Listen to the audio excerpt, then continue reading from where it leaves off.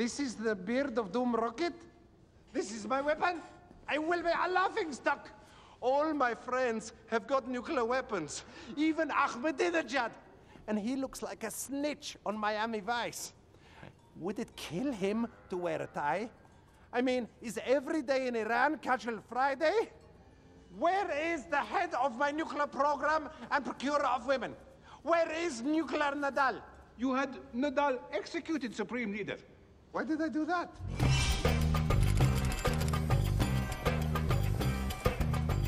Ah, Supreme Leader, Ah, Nadal.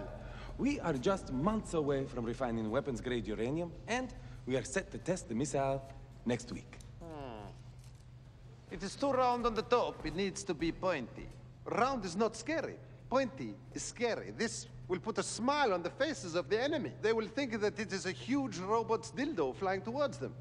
No, Supreme Leader, the shape of the missile top has nothing to do with aerodynamics. It is about the payload delivery. No, it sticks in the ground and then kaboom. Supreme Leader, I think perhaps some of your information about bombs is coming from cartoons. Nonsense. They were research films. And in them, the victims of the bomb would get very sooty faces, and then a see through version of themselves started rising up towards heaven while playing a harp. In this film, just one question, was there a duck who, when the explosion is happens, his bill goes around the back of his head, and then in order to talk, he has to put it back this way? There was somebody who suffered a deformity like that, yeah. Okay. I am now 100% sure that you are watching cartoons. Have you spoken to the experts about this? Have you consulted Professor Bobai? Who? Professor Bobai, the one with the incredibly strong forearms that are uh, missized for his body. Okay. The man you are discussing is called Popeye. Bobai. He is not a professor. Popeye is, as the song tells us, a sailor man. Indulge me. For one second, pretend that I'm an idiot Okay, I'm there.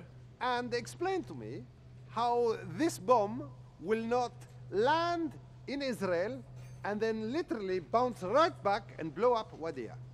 Supreme Leader, let me explain to you. You've lost me. This is the missile in Wadiya. You push the button. Boop. Israel. No! Why? Nuclear winter. The reality is,